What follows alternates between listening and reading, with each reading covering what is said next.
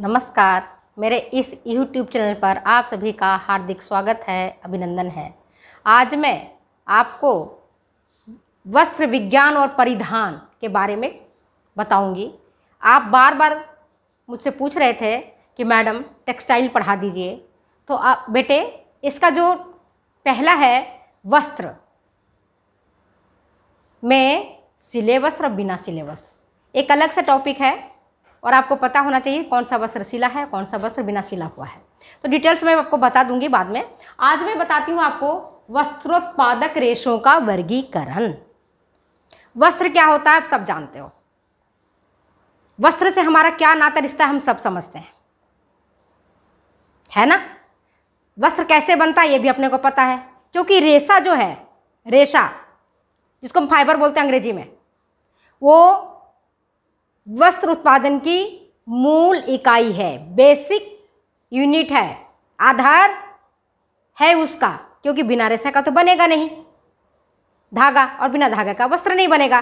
तो अगर कभी भी पूछा जाए आपको क्वेश्चन में कि वस्त्र बनाने की सबसे मूलभूत इकाई क्या है तो आपका आंसर होना चाहिए रेशा, अंग्रेज़ी में होगा फाइबर और कई सारे रेशों को मिला करके, बट करके धागे का निर्माण होता है।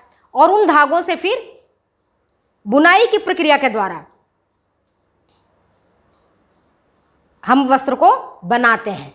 तो आज हम उन्हीं रेशों के बारे में चर्चा करते हैं जिनसे हमारा वस्त्रों का निर्माण होता है। और ये बहुत इंपॉर्टेंट है टॉपिक है सबके लिए। चाहे आप टीजीटी की परीक्षा देने जा रहे हो पीजीटी का देने जा रहे हो, या जीआईसी का देने जा रहे हो, या नेट देने जा रहे हो, या सेट देने जा रहे हो, या कोई भी कॉम्पिटिटिव एग्ज़ाम देने जा रहे हो तो आपका तो इसमें से एक, दो, चार क्वेश्चन तो पक्का आते ही आते हैं। क्योंकि सबका जो आधार है, वस्त्रोत्पादक रेशों का वर्गीकरण ही है। आज मैं आपको इसी के बारे में क्लासिफिकेशन ऑफ़ टेक्सटाइल फाइबर्स के बारे में बताऊँगी, जिस, जो कि आप डिटेल ध्यान से सुनना, और इसी में इंपॉर्टेंट चीज़ होगी, जो आपको एग्जामिनेशन पॉइंट ऑफ़ व्यू से भी इंपॉर्टेंट होगा। तो आप ध्यान से इस वीडियो को देखो। वस्त्रोत्पादक रेशों का वर्गीकरण क्लासिफिकेशन ऑफ़ टेक्सटाइल फाइबर्स मेरे प्यारे बच्चों, वस्त्रोत्पादक रेशों का अगर वर्गीकरण किया गया है तो इसके मुख्य दो वर्गीकरण हैं। परीक्षा में अगर पूछा जाए कि वस्त्रोत्पादक रेशों का वर्गीकरण कितने भाग में किया गया है तो यहाँ तो आप देख रहे हो, एक है, दो है, तीन है। मैडम ने तो तीन बताया था। भूल मत कर बैठना।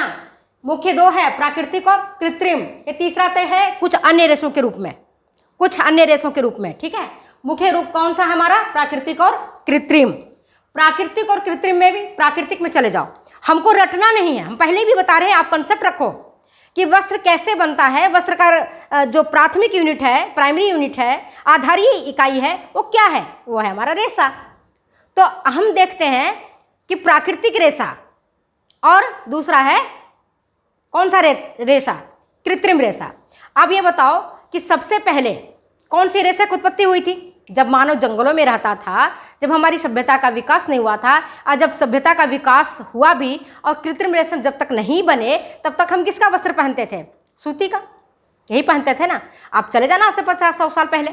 पूछना अपनी दादी नानी से। वो बताएँगे हमारे पास सूती साड़ी हुआ करता था दो ही तीन कपड़े हुए करते थे खादी के पहनते थे। क्यों? प्राकृतिक रेशे। प्राकृतिक रेशों का वस्त्र थे। ठीक है ना? प्राकृतिक मतलब जो चीज़ हमें प्रकृति से प्राप्त होती है।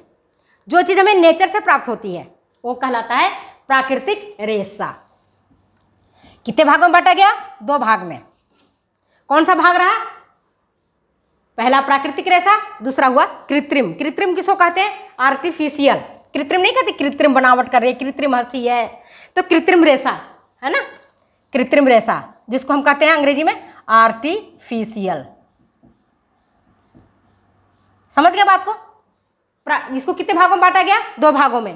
पहला, प्राकृतिक, दूसरा, कृत्रिम। प्राकृतिक मतलब जो हमें प्रकृति से प्राप्त होती है, जो हमें नेचर से मिलती है, जो हमें पेड़ पौधे से मिलते हैं, जो हमें जानवरों से मिलते हैं, जो हमें खनिज पदार्थों से मिलते हैं।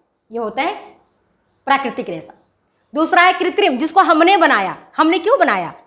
हमें क्या ज़रूरत पड़ गई बनाने की? ऐसा लगा कि जितनी जनसंख्या है, भारत की या विश्व की, और जो प्रकृति से हमें रेसे प्राप्त होते हैं, वो तो कम मात्रा में मिलते हैं। मान लो कपास से सूती वस्त्र बनता है, लीनन है। अगर इन वस्त्रों की, बनाना है इन वस्त्रों को तो कपास की खेती करनी पड़ेगी, लिनन की खेती करनी पड़ेगी। और खेती करते समय अगर सूखा हो गया या बाढ़ आ गया या कीट फफूंद लग गए, सूती के लिए कपास ही उत्पादन नहीं हुआ। जब कपास का उत्पादन नहीं हुआ तो रेसे कहाँ से बनेंगे? जब रेसे नहीं होंगे तो सूती धागा नहीं बनेगा, और जब सूती धागा नहीं बनेगा तो वस्त्र नहीं बनेंगे, जुड़े हुए ना एक दूसरे से। पहले रेशा बहुत पतला होता है रेशा है ना? फिर इसे दो चार बार ऐड करके बनाते हैं धागा, और फिर इसे बन जाते हैं वस्त्र, बुन करके, है ना? वस्त्र की बुनाई करते हैं, बुन करके इससे वस्त्र बन जाता है। तो पहला तो ये चाहिए ना, यही नहीं है आपके पास तो ये कहाँ से बनेगा? ये नहीं रहेगा तो ये बनेगा ही नहीं। तब वैज्ञानिकों के मन में दिमाग में आया कि भाई, जितनी जनसंख्या बढ़ रही है, अगर प्राकृतिक विपदाएँ आ जाती हैं, उतना उत्पादन कपास का नहीं होता है। या प्राकृतिक रेशों के लिए जो चीज़ें चाहिए, उतना ऊन नहीं मिलता है, या उतना रेशम नहीं मिलता है तो अपने तन को कैसे ढकें? क्योंकि वस्त्र तो हमारा क्या है? प्राथमिक आवश्यकता है ना? रोटी, कपड़ा और मकान। दूसरे नंबर का है ना? पहला तो रोटी, दूसरा है कपड़ा, तीसरा है मकान। और रोटी खाए बिना तो हम रह सकते हैं। घंटा, दो घंटा। कपड़े बिना रह सकते हैं क्या? कपड़ा से तो हमारा नाता, रिश्ता जन्म, जन्मांतर से है। पैदा होते ही हमें कपड़े में लेटाया जाता है और मरने के बाद हमें कफन में। और कभी भी कोई भी ऐसा व्यक्ति है जो बिना कपड़े का कभी रहता हो। किचन में जाओ तो कपड़ा चाहिए, बिस्तर पर जाओ तो कपड़ा चाहिए, सर्दी का मौसम है तो कपड़ा चाहिए, गर्मी का मौसम है तो कपड़ा चाहिए। मतलब कपड़ा हमारे अंग का एक अभिन्न हिस्सा हो गया है, जिसके बिना हम नहीं रह सकते हैं। हम, और दूसरी बात हम क्या खाते हैं दुनिया कोई नहीं देखती है कि हम क्या खा के आए हैं। लेकिन हम क्या पहनते हैं, इस पर सबकी नज़र जाती है। तो कपड़ा का कितना महत्व है? तो ये देखो, मैंने प्राकृतिक रेशे की बात बता रही थी, फिर आ गया आपका कृत्रिम रेशा, ठीक है? अब ये प्राकृतिक रेशा को भी बांटा गया कितने भाग में? तीन भाग में। प्राकृतिक रेशा बांटा गया तीन भाग में। एक हो वानस्पतिक या वनस्पतिज। वानस्पतिक या वनस्पतिज मतलब जो वन से प्राप्त हुए हैं। जो वनस्पति जगत से प्राप्त हुआ है पेड़ पौधों से प्राप्त हुआ है, और दूसरा हुआ प्राणीज, जो प्राणी से प्राप्त हुआ है, जानवरों से प्राप्त हुआ है, और तीसरा हुआ खनिज खनिज रेशा, मिनरल, जो हमारे खदानों से प्राप्त हुआ है। ठीक है, इतना समझ में आ गया? प्राकृतिक रेशा, कृत्रिम रेशा, प्राकृतिक में भी तीन है वानस्पतिक प्राणीज और खनिज। और ये देखो कृत्रिम में कृत्रिम में भी दो है, मानवकृत, संश्लेषित या रासायनिक। मानवकृत, जिसको पहले पहले व्यक्ति ने बनाया।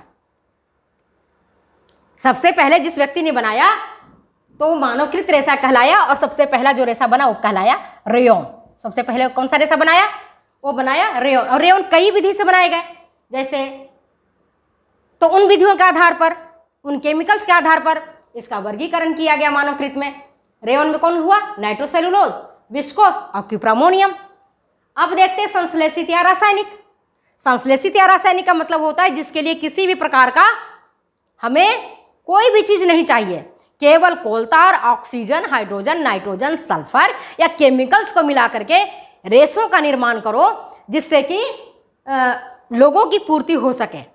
है ना? लोगों की वस्त्र संबंधी जो आवश्यकता है उसकी पूर्ति किया जा सके। तो इसके लिए संश्लेषित या रासायनिक रेशा बनाया गया। और इसके अंतर्गत कौन कौन से रेशा आते हैं? सबसे पहला रेशा बना नाइलॉन सबसे पहला रेशा कौन सा बना? नाइलॉन संश्लेषित रेशा, अगर प्रश्न में आए, सबसे पहला संश्लेषित रेशा का नाम लिखिए। बहुत सारे आएँगे, आपका आंसर होगा नाइलॉन ठीक है? इसके बाद Dacron, Zefran Orlon Acrilan, Creslan, Terylene, Darvan, Saran fibre glass इतने सारे प्रकार के वर्तमान में रेसे तैयार किए गए हैं। केमिकल का उपयोग करके, कोल तार का उपयोग करके कि गिनना मुश्किल है। आप बाज़ार चले जाओ और जब वो कपड़े दिखाते हैं, मैडम, ये ले लो, वो ले लो, आप कन्फ्यूज़ हो जाओगे, कौन सा ले? कपड़े की इतनी वेराइटी बन गई है केमिकल संश्लेषित या रासायनिक रेशा का, कि आप कंफ्यूज हो जाओगे कि कौन सा खरीदे, कौन सा नहीं खरीदे। संश्लेषित जिसको हम अंग्रेज़ी में सिंथेटिक बोलते हैं। सिंथेटिक फाइबर या केमिकल फाइबर समझ आगे बात को? तो इसके कितने सारे हो गए? जब बनना शुरू हुआ तो ये चूँकि मशीन में बन रहा है, लोग उसको बना रहे हैं तो खूब बनाते गए, जितना चाहो उतना बनाओ। तो उसमें नाइलॉन बन गया, डेक्रॉन बन गया ऑर्लॉन बन गया, जेफ्रॉन बन गया, एक्रिलोन बन गया, कैस्ट्रॉन, ग्लास फाइबर, है ना, टेरिलिन डरवन सारन और दुनिया भर के आज वर्तमान में इतने प्रकार के सिंथेटिक फाइबर्स हैं, जिसको कि आप गिना नहीं सकते। ठीक है? अभी ये चीज़ समझ में आ गया? संश्लेषित समझ में आ गया? अब देखते हैं जो कुछ अन्य रेसे हैं। इसको क्यों हम अलग किए? कि कुछ रेसे ऐसे हैं, ना तो वो प्राणीज में आते हैं, ना कृत्रिम में आते हैं और ना वनस्पति में आते हैं। अलग ही उनकी प्रकृति है। उसको, वो भी, उसको हम विशिष्ट रेशा का नाम देते हैं स्पेशल है। ना तो प्राणीज में है, ना वो वनस्पति में है, ना वो सिंथेटिक में है, ना आर्टिफिशियल में है, ना मैंड मेड में है। उसमें तीन भागों में इसको बांटा गया। एक है परिवर्तित, दूसरा है मिश्रित, तीसरा है विशिष्ट बाल रेसे विशिष्ट बाल रेसे कौन कौन से है?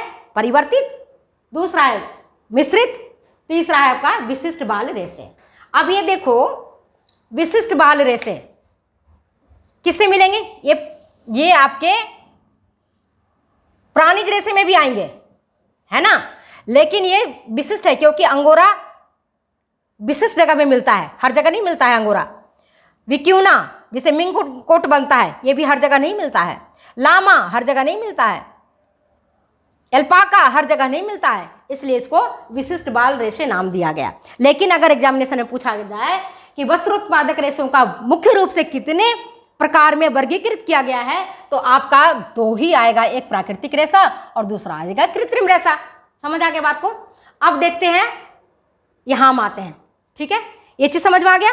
अब देखो, वानस्पतिक रेशे को अगर हम डिवाइड करते हैं, है ना, वर्गीकृत करते हैं तो इसको हम तीन भागों में वर्गीकृत किया गया है। पहला है बीज वाला रेशा, दूसरा है तने वाला रेशा, तीसरा है पत्ते वाला रेशा। समझ आ गई बात? बीज वाले रेसे तने वाले रेसे और पत्ते वाले रेसे राइट अब बीज वाले रेसे बीज वाले रेसे मतलब क्या होता है? किसको कहेंगे बीज वाले रेसे वो फाइबर जिसके बीज के चारों तरफ़ रेसे लपेटे गए हों, जिसके बीज के चारों तरफ़ रेसे लिपटे हुए हों।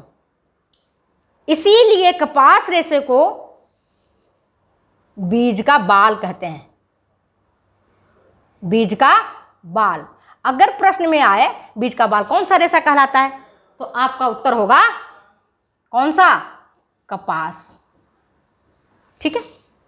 अब बीज वाले रेसे हैं कपास और कापोक।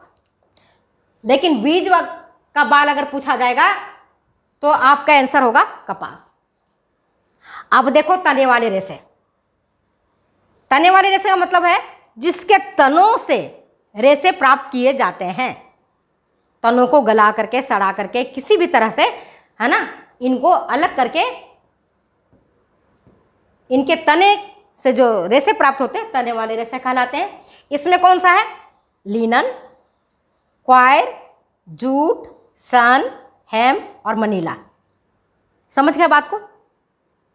कौन से रेसे जो तने से प्राप्त होते हैं। कौन से प्राप्त हुए? Linen, coir, jute, sunn, hemp और मनीला। और तीसरा डिवाइड किया गया है, वो है पत्ते वाले रेसे मतलब जिसके पत्तों से रेसे प्राप्त किए जाते हैं। इसमें दो हो गया, एक पीना हो गया और दूसरा हो गया सीसल।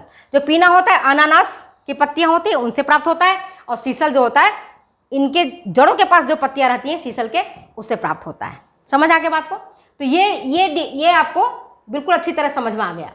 अब ये देखो, एक प्रश्न आपके दिमाग में उठता है और जो मैं अभी आपको हाथों हाथ बताना चाह रही हूँ। वनस्पति जगत में जितने भी रेसे मिलते हैं, उनमें से सर्वश्रेष्ठ रेशा कौन सा है? अगर ये प्रश्न आ जाए कि वनस्पति जगत में जितने भी रेसे प्राप्त किए जाते हैं, उनमें से सर्वश्रेष्ठ रेशा कौन सा है? तो आपके पास तो बहुत सारा है। कपास, कापोक हेम मनीला जूट, सान, लिनन क्वायर सीसल, पीना, इतना सारा चीज़ है। आप कंफ्यूज हो जाओगे कि कपास है, कि लिनन है, कि जूट है, कि आप तो सोचोगे जूट तो नहीं ही होगा। कपास है लिनन है कंफ्यूज कर जाओगे। तो इसका सर्वश्रेष्ठ कौन सा है? आपका कपास है। क्यों है? कोई सा भी ऐसा घर नहीं है, कोई सा भी ऐसा व्यक्ति नहीं है विश्व का, जहाँ पर कि कपास से बने सूती वस्त्रों का उपयोग न किया जाता हो। हर जगह रसोई घर से लेकर के, बिस्तर से लेकर के, पहनने से लेकर के, ओढ़ने का वस्त्र कपास के रेशों से तैयार किए जाते हैं, जिसको हम कहते हैं सूती वस्त्र। और सूती वस्त्र सर्वश्रेष्ठ वस्त्र है वानस्पतिक जगत में, जिसको हम कपास के रेशा को विश्वव्यापी रेशा कहते हैं, क्योंकि इसका उपयोग चाहे गरीब हो, अमीर हो, मध्यम श्रेणी का हो, बालक हो, बूढ़ा हो, जवान हो, सभी इसका उपयोग करते हैं। पूरे संपूर्ण विश्व में इसकी ज़्यादा उपयोग किया जाता है और ये बड़े अच्छा होता है। सर्दी के हिसाब का भी अनुकूल होता है, गर्मी के के लिए भी अनुकूल होता है है ना? सर्दी में ठंडक देता है। सॉरी, सर्दी में गर्मी देता है और गर्मी में ये ठंडक देता है है ना? तो ये देखो आपके वनस्पति के हिस्सों के बारे में आपको बताया। तो कपास सर्वश्रेष्ठ। वनस्पति जगत का रेशा है और विश्वव्यापी रेशा है। अब तने वाले रेशे में मैंने आपको बताया लीनन, क्वायर, जूट, सान, हेम्प और मनीला। पत्ते वाले में पीना और सीसन। अब चलते हैं अपन प्राणीज रेशों में। जो प्राणी जगत से प्राप्त किया जाता है, प्राणी। प्राणी मतलब जिसमें जीव जंतु जो है। तो जीव जंतु में कौन है? भेड़ है, बकरी है, अभी हमने बताया नहीं है, देखो। अंगोरा, लामा, अल्पाका, विक्यूना, दुनिया भर का खरगोश। इनके खास करके जो भेड़ों के बालों से जो हमें रेसे प्राप्त होते हैं, उनसे ऊनी वस्त्र बनता है। तो इनका डिवीज़न क्या हुआ? ऊन में हुआ। दिख रहा है आपको? ऊन बनाए गए और दूसरा है रेशम। रेशम किससे मिलता है? रेशम के कीड़ों से। और रेशम के कीड़े जो होते हैं, जिसको हम क्या बोलते हैं? सिल्क वर्म और जो, जिस पर रेशम पल, पालन की जो प्रक्रिया होती है, रेशम के कीड़ों के पालने की प्रक्रिया कहलाती है, वो आपको पता होगा, ये पूछा जा सकता है, उसको हम क्या बोलते हैं, जहाँ जिस विधि से, है ना, या जिसमें रेशम के कीड़ों को पालना, पाला जाता है, उसको हम क्या कहते हैं तो उसको कहते हैं सेरिकल्चर। क्या बोलते हैं इसको हम? सेरिकल्चर। रेशम। और रेशम से जो बने वस्त्र होते हैं, ठीक है ना, जो आपके सिल्क वॉर्म है, उसके कोकुन, ये कोकुन होता है, कोकुन के अंदर कीड़ा होता है। ये कीड़े के मुख छिद्र पर होता है, दो छेद, मुख के पास दो छिद्र होता है। यहीं से निकलता है, इसके लार से निकलते जाता है और फिर ये रेशे के रूप में लिपटता लिपटता चला जाता है। जो मैं आपको रेशम पढ़ाऊँगी, तब डिटेल बताऊँगी। अभी कंफ्यूज हो जाऊँगा, अभी इतना ही समझो। तो ये कोकुन को मार करके उसके ऊपर जो ये रेशा है है ना, ये रेशा कहलाता है रेशम। और रेशम का रेशा क्या होता है? बहुत सुंदर। अत्यंत बारीक, खूब लंबा।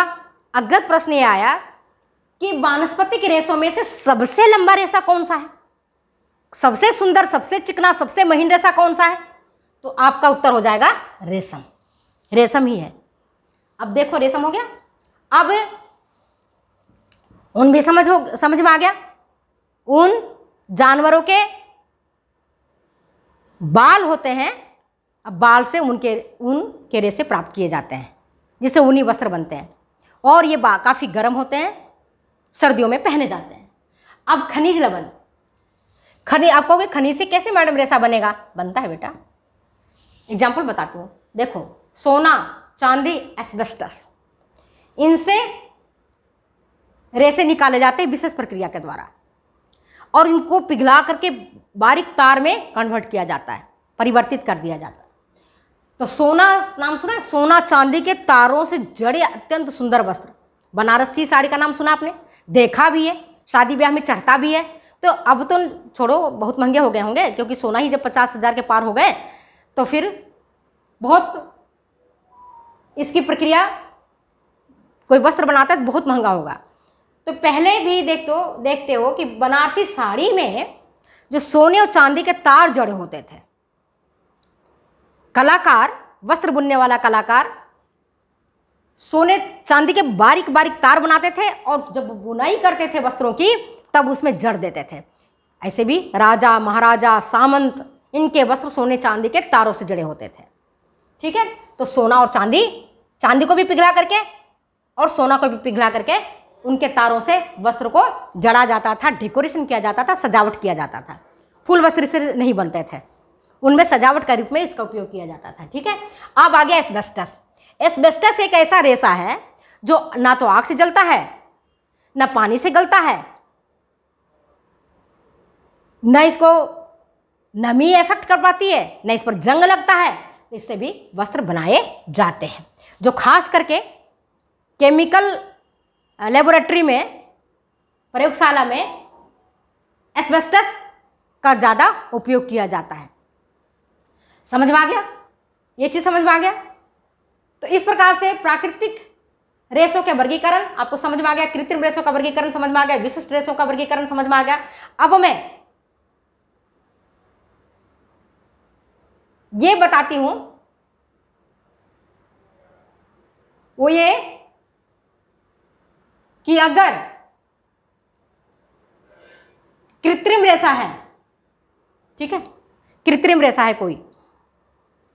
तो उस कृत्रिम रेशा में अगर किसी प्रकार का परिसज्जा दे दिया जाए तो उसमें के संरचना में परिवर्तन आ जाता है। जैसे मान लो कि ऑर्लोन है। ऑर्लोन को इस तरह से उसका परिसज्जा कर दिया जाता है, उसकी जो क्वालिटी होती है, उनकी तरह दिखने लगती है। कृत्रिम रेशा में, है ना? तो कृत्रिम रेशम को, रेशा को दो भागों में बांटा गया, मानवकृत रेशा और संश्लेषित रासायनिक रेशा।